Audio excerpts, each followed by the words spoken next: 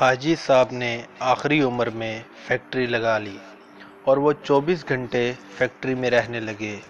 وہ سولہ سے اٹھارہ گھنٹے دفتر میں کام کرتے تھے اور جب تھک جاتے تھے تو فیکٹری کے گیسٹ ہاؤس میں سو جاتے تھے۔ حاجی صاحب کے مزاج کی یہ تبدیلی سب کے لیے حیران کن تھی۔ وہ تیس برس تک دنیا داری کاروبار روپے پیسے سے الگ تھلگ رہتے تھے۔ انہوں نے یہ عرصہ عبادت ریاضت میں گزارا تھا اور اللہ تعالیٰ نے انہیں اس ریاضت کا بڑا خوب صلہ دیا تھا۔ وہ اندر سے روشن ہو گئے تھے۔ وہ صبح آٹھ بجے اپنی بیٹھک کھولتے تھے اور رات گئے تک ان کے گرد لوگوں کا مجمع لگا رہتا تھا۔ لوگ اپنی اپنی حاجت لے کر ان کے پاس آتے تھے اور وہ ان کے لیے دعا کا ہاتھ بلند کرتے تھے اور اللہ تعالیٰ سیل کے مسائل حل فرما دیتا تھا۔ اللہ تعالیٰ نے ان کی دعاؤں کو قبولیت سے سرفراز کر رکھا تھا۔ لیکن پھر اچانک حاجی صاحب کی زندگی نے پلٹا کھایا۔ وہ ایک دن اپنی گدی سے اٹھے، بیٹھک بند کی، اپنے بیٹوں سے سرمایہ لیا اور گارمنٹس کی ایک درمیانے درجے کی فیکٹری لگا لی۔ انہوں نے اس فیکٹری میں پانچ سو خواتین رکھیں، خود اپنے ہاتھوں سے یورپی خواتین کے لیے کپڑوں کے نئے نئے ڈیزائن بنائے، یہ ڈیزائن یورپ بھجوائے۔ باہر سے آرڈر آئے اور حاجی صاحب نے مال بنوانا شروع کر دیا۔ یوں ان کی فیکٹری چل نکلی اور حاجی صاحب دونوں ہاتھوں سے ڈالر سمیٹنے لگے۔ دنیا میں اس وقت گارمنٹس کی کم و بیش لاکھوں فیکٹریاں ہیں اور اتنے ہی ان کے مالکان ہوں گے۔ لیکن ان لاکھوں مالکان میں سے حاجی صاحب جیسا کوئی دوسرا کردار نہیں۔ پوری دنیا میں لوگ بڑھاپے تک کاروبار کرتے ہیں اور بعد ہزار روپے پیسے اکاؤنٹ سے طیب ہو کر اللہ اللہ شروع کر دیتے ہیں۔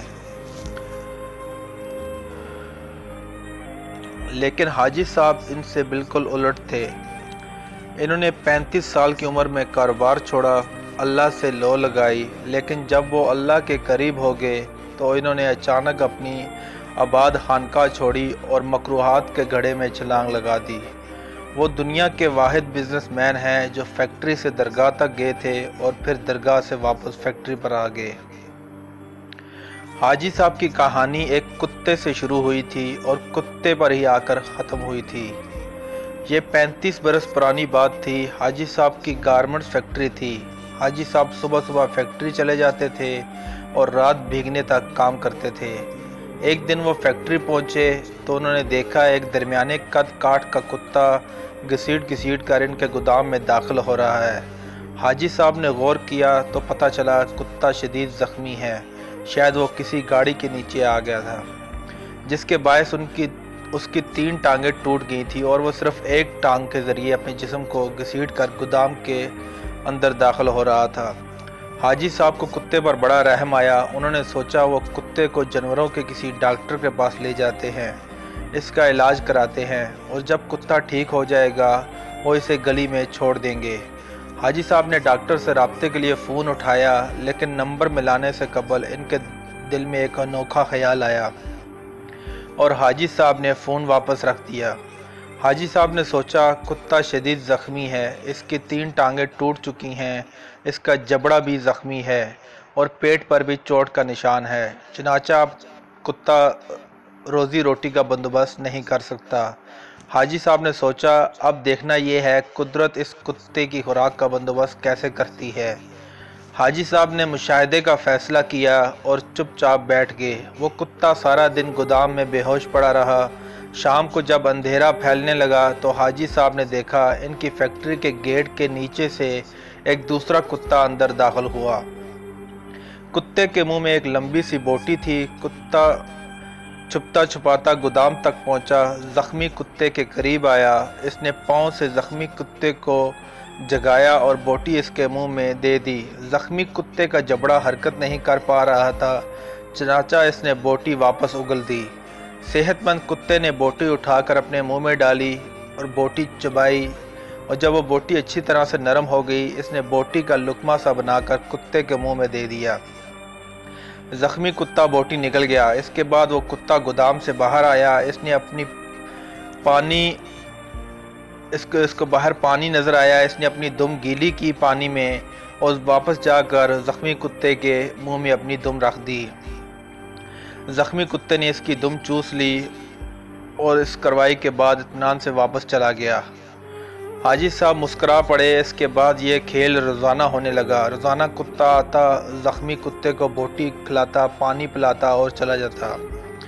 حاجی صاحب کئی دنوں تک یہ ماجرہ دیکھتے رہے۔ ایک دن حاجی صاحب نے اپنے آپ سے پوچھا، وہ قدرت جو اس زخمی کتے کو رزق فراہم کر رہی ہے، کیا وہ مجھے دو وقت کی روٹی نہیں دے گی؟ سوال بہت سوال بہت دلچسپ تھا۔ حاجی صاحب رات تک اس سوال کا جواب تلاش کرتے رہے۔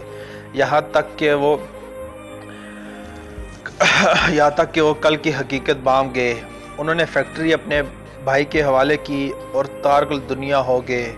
وہ مہینے میں تیس دن روزے رکھتے، صبح صادق سے اگلی صبح کاذب تک رکو سجود کرتے۔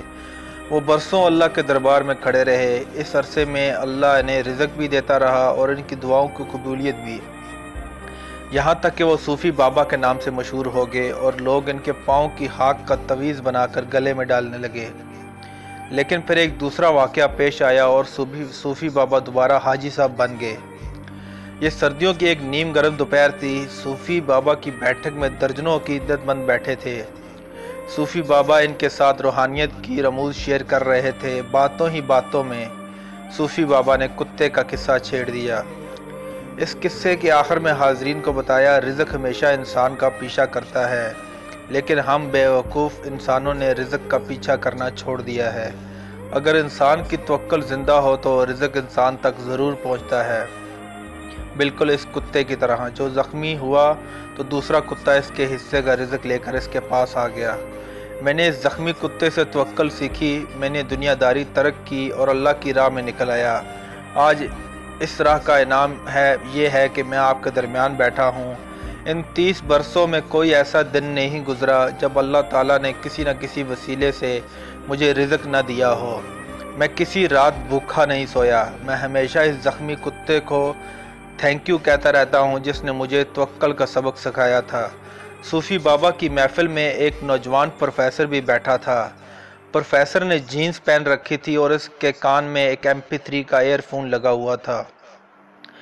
نوجوان پروفیسر نے ایئر فون اتارا اور کہکا لگا کر ہنسنے لگا اور صوفی بابا کو بولا، صوفی بابا، ان دونوں کتوں میں افضل زخمی کتا نہیں تھا، بلکہ وہ کتا تھا جو روز شام کو زخمی کتے کو بوٹی چبا کر کھلاتا تھا اور اپنی دم گیلی کر کر اس کو پانی پلا کر اس کی پیاس بجاتا تھا۔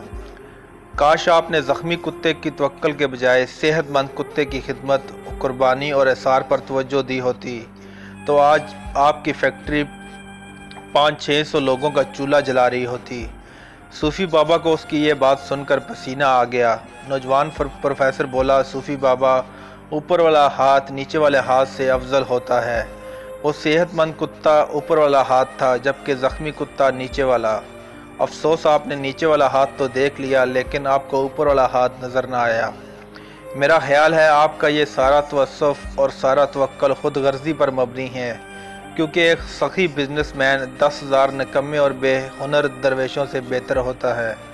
نوجوان اٹھا، اس نے سلام کیا اور بیٹھک سے نکل گیا۔ حاجی صاحب نے دو رکت نفل پڑے بیٹھک کو تالا لگایا اور فیکٹری کھول لی۔ اب وہ عبادت بھی کرتے ہیں اور کاروبار بھی کرتے ہیں۔ اگر ابھی تک آپ نے ہمارے اس چینل کو سبسکرائب نہیں کیا تو ویڈیو کے نیچے ریڈ بٹن پر کلک کر کے اس کو سبسکرائب کر لیں اور ساتھ میں لگی نوٹفیکیشن بیل کو آن کرنا نہ بھولیں تاکہ آپ کو ویڈیو کی تمام اپڈیٹ ملتی رہیں۔